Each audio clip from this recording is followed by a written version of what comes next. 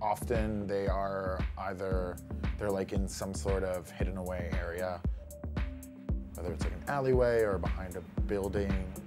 Often you have to find the place.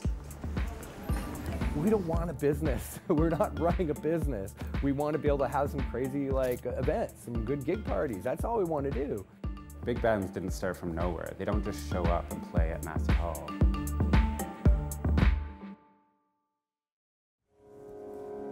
The real estate boom means condos now dominate Toronto's cityscape. Established artists have seen its club scene wither over the years. I know we'll find a way. When we grew up, we came out of, of the 90s sort of hip hop scene and house music scene, and there was just so much more DIY stuff. There was warehouse parties. Stuff was affordable. You could live here and work part time. And just over the over the 18, 20 years that we've lived here, we've just seen it become so expensive. I think we're having a reverse of like when poor and working class and immigrant folks and artists lived in cities and then people lived in the suburbs if you had money. So that's we're actually seeing the shift of that. So I kind of laugh about it to be like, we're just gonna move to the suburbs. The shift means artists are being pushed out of what used to be cheap industrial land. I don't think we always have to die in revolution. At the same time,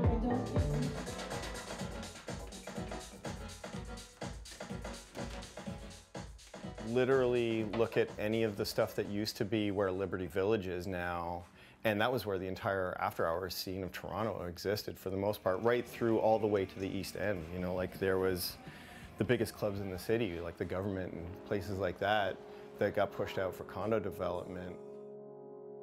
In the last year, the list of vanished venues grew. Silver Dollar Room, The Hideout, Not My Dog, Harlem, and the Hoxton closed shop. The Central in Mirvish Village will be torn down to make way for residential buildings along with iconic Honest Ed's. Hugh's Room is still hanging on, but closed for several months and had to reopen as a non for profit venue. You know, like it's kind of all over the place. This is a techno collection that I bought off of some other Toronto DJs that have stopped playing because they're so frustrated with the landscape of it. Brooklyn's gone through the exact same problems that Toronto went through, but they went through them 10 years ago. And I mean, it kind of makes sense that, you know, Toronto is the city that wants to be New York.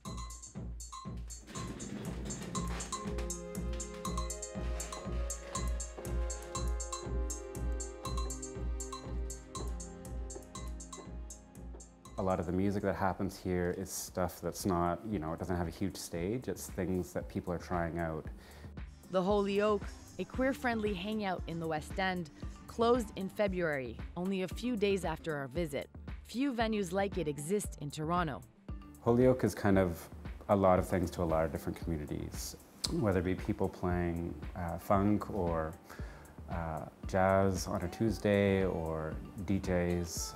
Um, sometimes we have big queer parties where people come and, you know, just express themselves. But the rent doubled in eight years. The owners threw in the towel.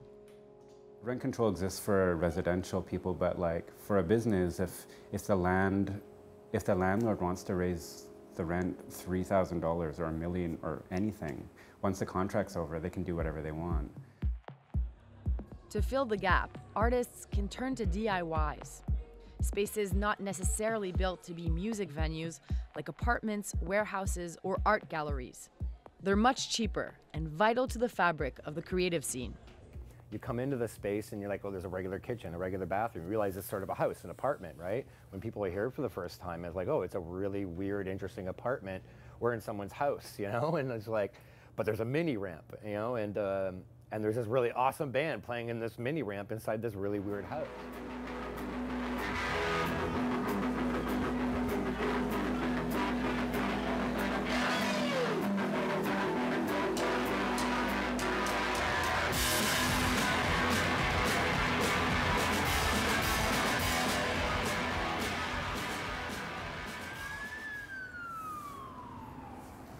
Often they are either, they're like in some sort of hidden away area, whether it's like an alleyway or behind a building or just, yeah, somewhere unique that isn't the regular, you know, uh, bar uh, window um, venue sign, big lineup. Some of our biggest Canadian exports, music-wise, have started in DIY spaces and in small grassroots spaces. Grimes and like Arcade Fire, when bigger bars have no room for us to play, or have never heard of us before, it's these smaller DIY spaces and grassroots venues that have like taken us in with open arms and have housed us and fed us and like showed us around town.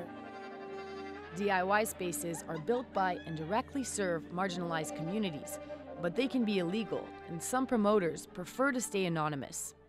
And I started throwing parties because I wanted to provide a space for women, for sort of more, for people of color, and for LGBTQ people. We just don't post the venue on Facebook, not anything that's public. And then we'll email people who buy tickets the address. So the ghost ship fire happened in Oakland, right? December 2nd, 2016. A fire breaks out in a massive DIY space in Oakland, California. 36 people die. It would kind of send out alerts amongst the North American DIY community. It's like, holy crap, this is awful. Shortly after, online trolls from the ultra right wing message board 4chan start a crusade against DIYs, which they describe as open cesspools of radicalism and liberal degeneration. They compile a list of DIYs and report them to authorities. And at some point, a lone GTA participant um, uh, offered up soy bomb. He's like, oh, there's one of these places in my city too. But then, early January, um, 8.30, 9.30 in the morning, uh, fire inspectors at her door. The Toronto Fire Department orders the closure of Soy Bomb, a well-known Toronto DIY. The venue does not comply with fire safety standards and zoning laws. Shortly afterwards, Double Double Land in Kensington Market suffers the same fate, even though they had safety measures in place. Our curtains are like sprayed with fire retardant. We have like a extinguisher on stage, we have an extinguisher like at the back of the room. Um, we even have like an exit sign. It's becoming like Manhattan or something. Like Manhattan is just culturally speaking, other than the big institutions, is like dead.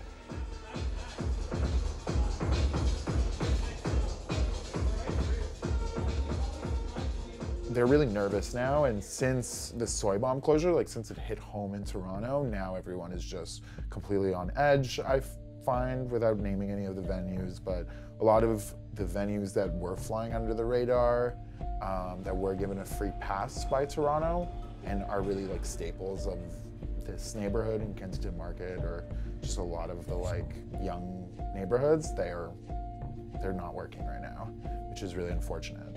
Artists are leaving, you know, I have friends moving to Hamilton. I mean, the consequences of not having, nurturing that sort of cross-cultural dialogue or creating safe spaces for people of color or the gay community or trans community or super straight community being able to nurture ideas is that you end up with like very homogenous culture. And unfortunately that's what I feel is happening in Toronto. You know when you look at rap music the biggest purveyor of street culture is a child actor from Forest Hills. Like that's crazy to me you know? Even before those things start getting exposed, communities of color have always been in danger. You know, whether they're even queer or not, like hip hop shows in the 90s were massive and then they got shut down because they were too big and they're, t- you know, it scared, it scared people. Some DIYs, however, do operate legally. Um, we program monthly between November and March. Um, we're an inter-arts festival. Um, came originally out of the punk and DIY scenes in Toronto. Um, for the past four years, we operated successfully out of the Great Hall. Um, this year, we lost our space at the Great Hall, and now we're currently um, we're homeless. We float around. Their events are open to people of all ages, a rare feat in Toronto. Long Winter received accolades from Rolling Stone and Pitchfork, but the DIY festival struggles to survive. Partly because we function with a volunteer staff, we didn't have the capacity to apply for every single possible grant last year. Oakland, who like uh, pledged, you know, whatever, 1.3 million to bringing existing DIY spaces up to code and whatnot, like, uh, I don't see anything like that happening here. Can they do some kind of a rent control like system for you know music venue owners, for example? Um, what can we do about NIMBYism, like people who move downtown and then complain about the noise? And cities just don't understand them. Like they really don't get them. So they, they get a complaint from a neighbor, and in typical, you know, municipal government fashion, they come out with like this arsenal of people. But the city is starting to take notice. In 2015, it designated the Silver Dollar as a heritage site to save it from being demolished, but there's no guarantee it'll reopen as a live music venue. Toronto Music Industry Advisory Council is studying ways to salvage those that are left. Bodies into chance. There's no, there's no. Let's look at zoning.